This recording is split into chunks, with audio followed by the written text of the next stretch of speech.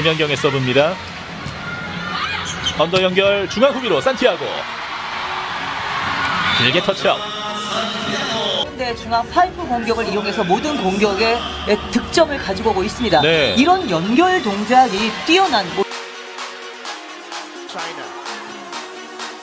Another chance for the Philippines.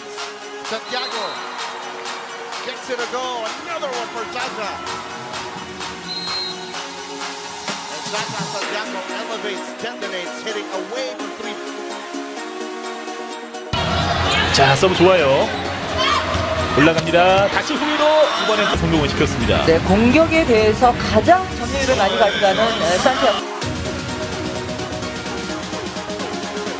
on that serve. Fajardo. Jaja galing likod and Jaja finds the line in zone 1. Great swing there by Jaja. The defense she saw that they opened in zone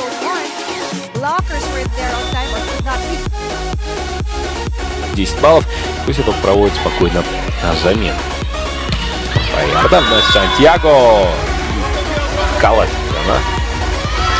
Здесь э, Ютамин. Фаярдан на Сантьяго. Калат.